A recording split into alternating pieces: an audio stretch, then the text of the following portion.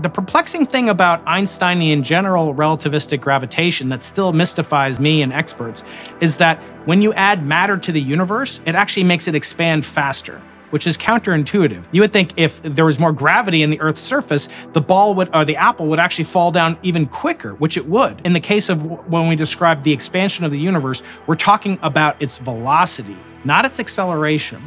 So there's a crucial distinction.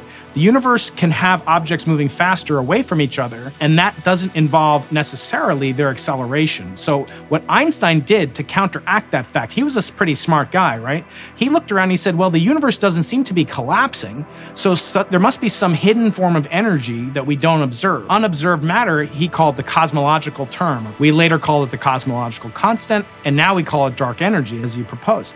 What that does is by adding in matter, you get anti gravity, or you add in energy, pure energy, you get a form of anti gravity. Almost as if, you know, it's the comic book hero's uh, dream that you could suspend gravity, that you could freeze the motion of objects that tend to want to uh, combine with one another. So he then had a mechanism, contrived as it was, to explain why the universe appeared static, as it did in 1919. But then, as I mentioned earlier, when Hubble observed the universe is in fact not static, Herr Einstein, the universe is expanding, then Einstein had the brilliance, the humility, and the confidence to say, I was wrong. And uh, supposedly, he called the insertion of the cosmological term his biggest blunder. So the dark energy phenomenon causes not only a reversal of the collapse of the universe's infall of all these galaxies or raisins that would be coming together, it not only freezes them in their tracks, it actually reverses that process. So instead of just expanding linearly, smoothly as Hubble would envision us doing,